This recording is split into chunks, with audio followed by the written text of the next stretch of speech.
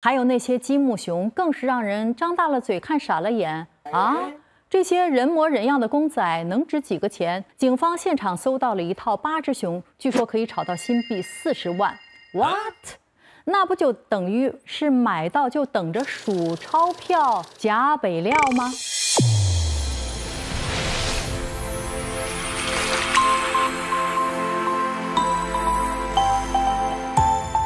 金币三十亿元叠起来到底有多高？后面又有几个零？洗钱案的天价奢侈品落入警方手中，该怎么保管？听说呢，他们也很头痛。你呢？会好奇吗？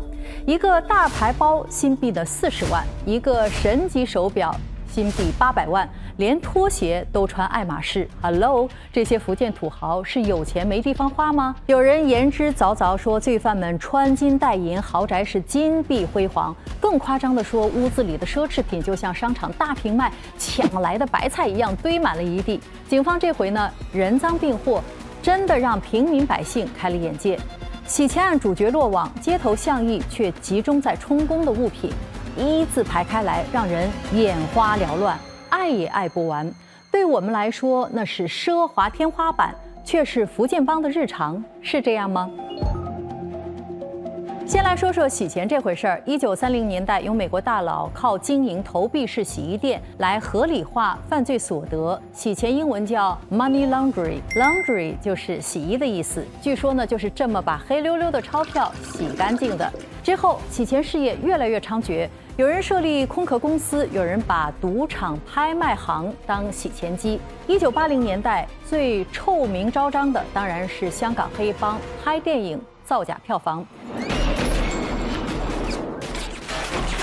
一部烂片两星期就拍完，说穿了就是这么回事儿。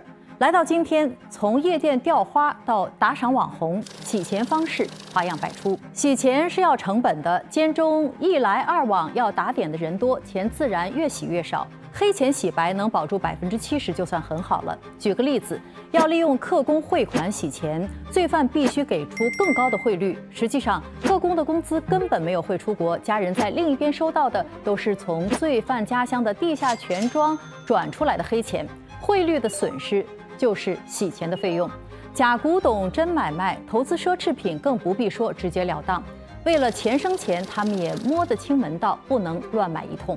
三十亿洗钱案，从罪犯家里充公的葡萄美酒，那个叫 Romati County 的来头就不小，一瓶新币万元起跳，年份好的八万、十万也很平常。没有人脉，没有门路，有钱还不见得能买得到。豪宅的酒窖当然呢也讲究隔热效果要做得好，一看就是行家。还有那些积木熊，更是让人张大了嘴看傻了眼啊！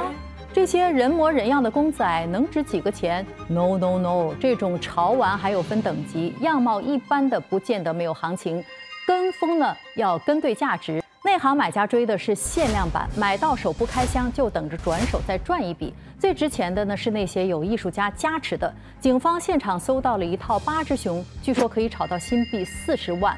What？那不就等于是买到就等着数钞票加北料吗？奢侈品。就算是买得起，也要养得起。手表每次的保养费呢是价格的百分之五到百分之十。那只八百万新元的表保养一次比很多人的年薪还要高。女人最爱的名牌包保养学问也不小，室温必须要控制在摄氏十五到摄氏二十三度，确保不发霉不干裂，比大小姐还要难伺候。更难搞的听说是某品牌的小羊皮包包，不能沾水沾油，又怕牛仔裤会染到颜色。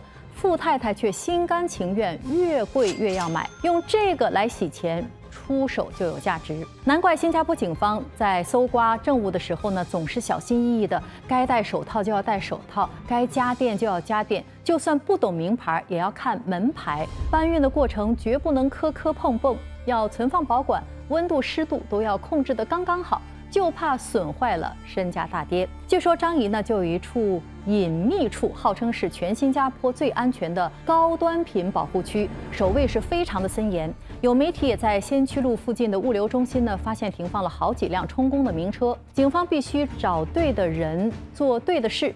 大批的证物要有专人来接手保管，这些呢都是要花钱的，已经花掉政府六七十万了。以后会从出售所得来报销。这些奢侈品是证物，在案件下判后才可以拍卖。以房产为例，买家受邀上门，当场看房开价，也可以竞标屋里留下的任何东西。到过现场的人说，上门抢标的都是有备而来，知道自己要什么。有时为了抢一台小小的电风扇，也争到面红耳赤，气氛热烈。不过要淘宝也要看运气，就有人买到山寨货而自认倒霉。是的，这类拍卖品不保真假，也不保质量。买家看走眼，自己买单。看来有钱人的世界很疯狂，像我们这样的普通老百姓呢，看看热闹也很不错。聪明的就应该装穷，要扮猪吃老虎，洗钱还高调炫富，这里是不是也应该小孩不笨？对了，小孩不笨三上演了哦，你有什么感想？不妨在留言区跟我们分享。我是张海杰，我说海不可斗量，你说呢？